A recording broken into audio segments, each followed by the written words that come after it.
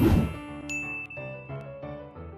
Daisy Duck is one of Disney's most well-known characters of all time. She is the lovable, confident, and slightly temperamental counterpart of Donald Duck, though much more sophisticated and high maintenance, as well as the best friend and sometimes friendly foil of Minnie Mouse. While Daisy has become synonymous with the Disney brand over the years, it may surprise you to learn that she only ever appeared in 14 classic Disney shorts between the 1930s and 1950s, before becoming a star of comics and a more regular screen character thanks to a slew of television appearances in the late 1990s and early 2000s. This is despite debuting only three years after Donald, who appeared in a total of over 170 classic shorts. In 2019, Daisy Duck turns 82 years old, and in her eight decades of existence, her look, design, and personality have evolved subtly through changing animation styles. In this video, I will trace the evolution of Daisy Duck right from her first appearance as Donna Duck in 1937 to today in 2019. To do so, we will look at the most drastic and important changes prevalent across a selection of classic shorts and series, in this edition of Explaining Disney. Daisy Duck would first appear in Mickey Mouse short Don Donald, the first ever headline starring role for Donald Duck, and one of the very few Mickey Mouse shorts not to feature Mickey in any capacity. In this short, Daisy appears under the name Donna Duck, and is introduced as a love interest for which Donald could comically vie his affections. As the short is set in Mexico, the character first appears in traditional Mexican attire, with a green and red colour scheme. She is drawn in oversized pumps, which, much like in the appearance of Minnie Mouse, are designed for comic effect. She's also drawn with shiny eyelids, as was a traditional animation style of the time. It's also worth noting that the character's voice here is provided by Donald's voice actor, Clarence Nash.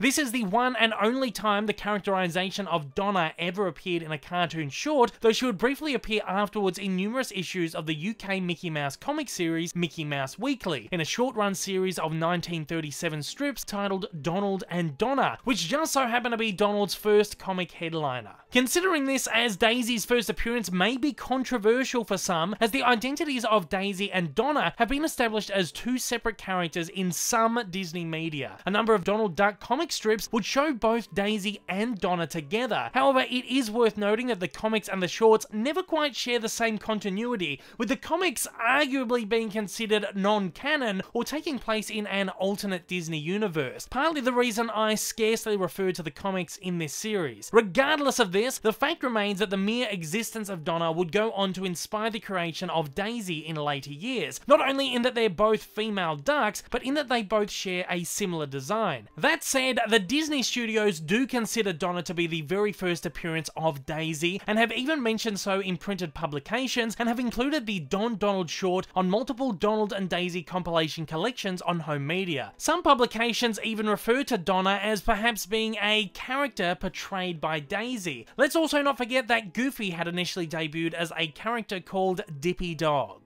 It wouldn't be for another three years in 1940 that the character would appear again in Donald Duck's short Mr. Duck Steps Out, where she would finally take on the name Daisy. In this short, Daisy once again appears as Donald's love interest as we are witness to what we assume is their very first date. Here, Daisy is dressed in a puffed sleeve blouse, large bow, oversized pumps, and a bangle. The ruffled feathers on the lower portion of her coat, much like in the design of Donna, were designed to appear as a skirt. We can see that right from the very beginning Daisy appears pretty much as we've come to know and love her in more or less her classic design. Though throughout the classic shorts, the colour scheme of her clothing would continuously change from short to short, with her most recognisable pink and purple colour scheme not becoming synonymous with the character until much later. While Daisy looks quite similar to her previous Donna design here, it's important to note her cuter, more expressive and more human-like design, employing animator Fred Moore's character style introduced in 1939. What you may also notice is that given Daisy was a later addition to the core Disney family, she's the one main character to be introduced in colour and with a squash and stretch animation design, having debuted outside of the black and white era of rubber hose animation. In this short, Daisy was originally voiced once again by Clarence Nash, taking on Donald's duck-like voice. However, in more recent years, the short has been redubbed for syndication with modern voice actress Tress MacNeille. Hello, Donald.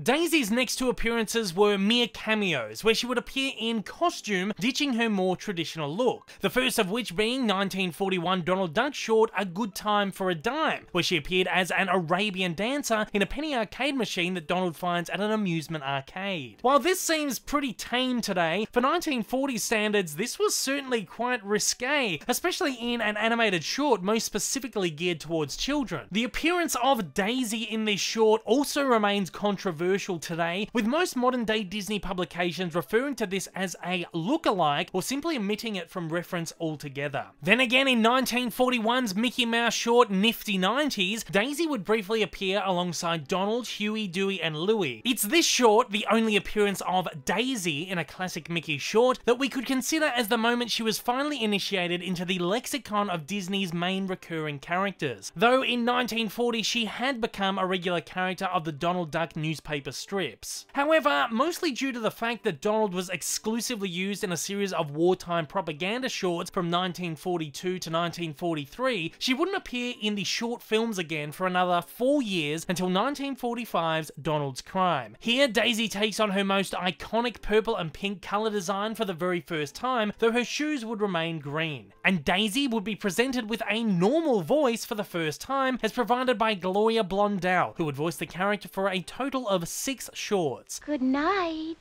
Big shot. That same year's Cured Duck would see Donald Duck undergoing anger management to cure his bad temper. While Donald's issues would be somewhat fixed by the short's end, we discover that Daisy too is not without her issues, displaying her very own somewhat temperamental side for the first time. Here she would appear in a yellow and green colour scheme, which would be used quite frequently from here on. 1946's Donald's Double Trouble would once again see Donald vying for Daisy's affections by hiring a more refined doppelganger in a short that once again explores the early tumultuous relationship of Daisy and Donald. The short also gives another early display of Daisy's volatile side. In that same year, Daisy would briefly cameo in Dumb Bell of the Yukon after a letter she sends Donald asking for a fur coat works as the impetus for Donald to travel to the Yukon to hunt bears. This short would show the lengths Donald would go for Daisy, further cementing their meaningful relationship. 1947's Sleepy Time Donald is the first short in which Daisy takes more of a lead role, as she tails a sleepwalking Donald through the streets at midnight. Told mainly through her perspective, Daisy even breaks the fourth wall and speaks to the audience a number of times. Here she appears in multiple different outfits, all with varied colour schemes. While Sleepy Time Donald could be seen as Daisy's first lead role, the short which is generally considered as her first headliner or starring role was 1947's Donald's Dilemma. While the short takes on Donald's name, it is actually Daisy who is faced with said dilemma. After Donald is hit on the head by a falling flower pot, his voice improves, he becomes more refined, and becomes a famous singer. Only problem is he gains amnesia and forgets who Daisy is. In the short, which is narrated by Daisy, she must choose whether to have the old Donald back all to herself or allow the new Donald to be given to the world. The short sees Daisy suffer all kinds of health issues, including depression,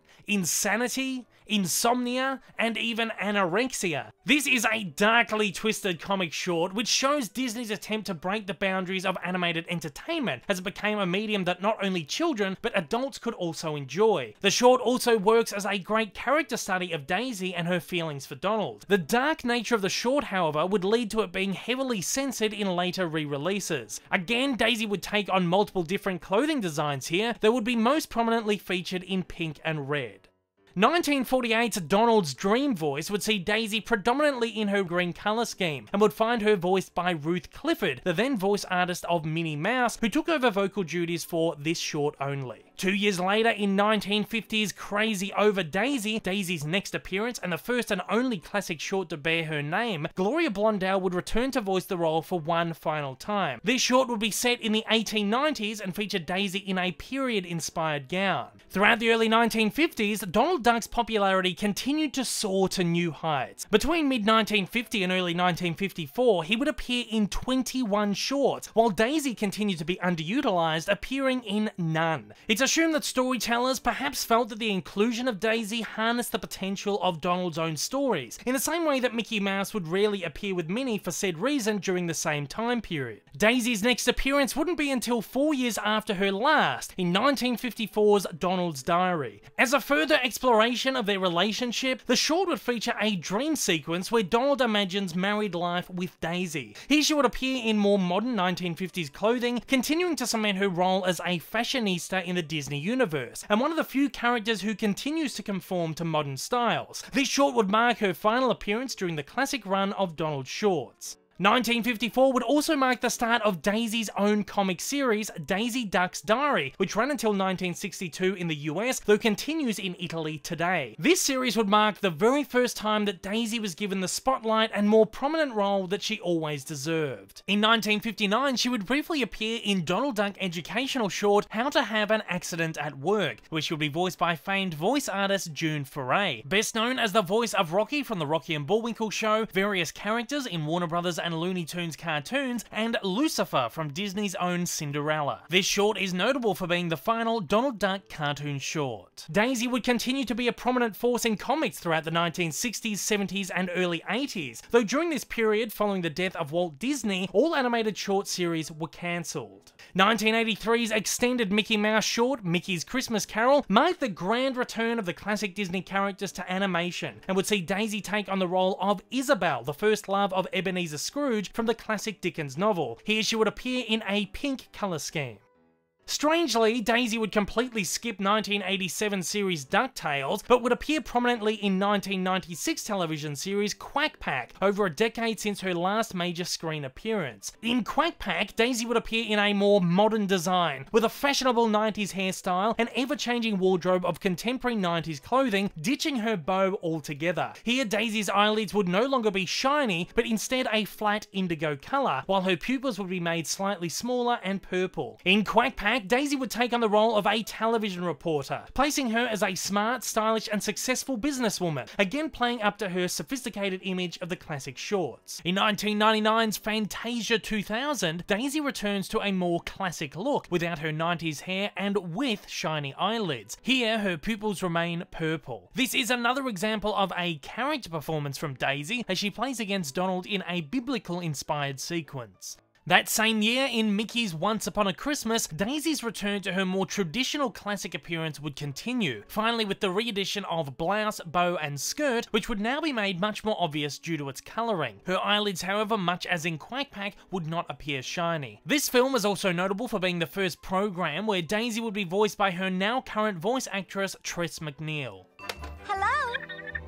Okie dokie. This same design would carry over into 1999 TV series Mickey Mouse Works, where Daisy would appear in a variety of shorts alongside Donald and cycle through a variety of different coloured costumes, much like in the classic shorts. It's also worth noting that Mouse Works would continue to display Daisy's irritability, showing herself to be perhaps more tumultuous than even Donald. The series would also develop her into a louder, more talkative, and more meddlesome personality, as well as be the first series to develop her as the best friend of Minnie. Rainey. Unlike most of the other characters in the series House of Mouse, Daisy would undergo another modern redesign. Here she would most often be seen in a blue and purple employee uniform with a small bow on her head, which would sit upon a large ponytail. Here, her Mouseworks personality would carry over, though she would become more headstrong and determined in her quest for fame. The series would also see her become somewhat more independent from Donald, forging her own path and backbone. 2004's Mickey, Donald, Goofy, the Three Musketeers would see Daisy in yet another costumed character role portraying the lady-in-waiting of Princess Minnie. 2004's Mickey's Twice Upon a Christmas would return Daisy to her more traditional design, though once again without bow, however would see her presented in CG animation for the very first time. Here, she would once again take on her more sophisticated, fashionable personality. This same CG design would be utilised in 2006 series Mickey Mouse Clubhouse, as well as in its two spin-off series, Minnie's Bowtoons from 2011 and Mickey and the Roadster Racers from 2017. The two spin-offs are incredibly notable in this instance as they prominently feature Daisy as a main character, in a way that she had perhaps never been utilised before outside of maybe Quack Pack. The series also firmly establish her as the best friend of Minnie Mouse. In these three series, she takes on her most recognisable purple colour scheme, complete with bow.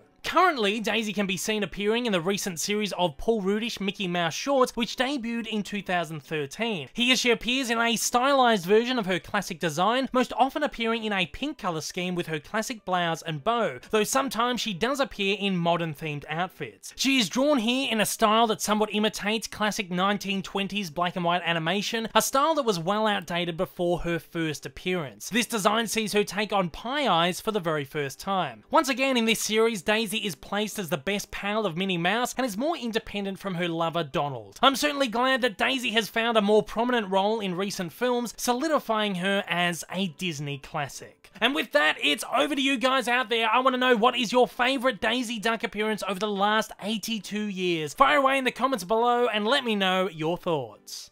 If this is your first time viewing one of my videos, you like what you've seen, you'd like to see more like this in the future, then please don't forget to hit that big old subscribe button up on your screen right now, and also hit that like button down below if you're feeling extra generous. Also, don't forget to check out my many social media accounts, and please consider supporting me over on Patreon. Thanks for watching, guys, and I hope you have a wonderful day.